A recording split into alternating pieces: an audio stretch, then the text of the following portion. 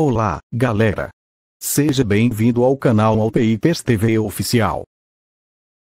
No vídeo de hoje respondo, será que o Xiaomi Poco M3 tem suporte para a tecnologia do 5G? E a resposta é, não. O Poco M3 não tem suporte para a tecnologia do 5G, assim este aparelho não tem a última geração de internet móvel, infelizmente. Antes de acabar esse vídeo, assista aos outros vídeos do canal. Temos várias playlists de smartphone para tirar as suas dúvidas. Descubra o que você precisa saber, de forma rápida e sem enrolação. Temos playlist do Galaxy S20 FE, Galaxy A02, Xiaomi Poco F3, Moto G60, LG K22 e muito mais. Deixe o seu like aí por favor, e inscreva-se no canal, e até mais.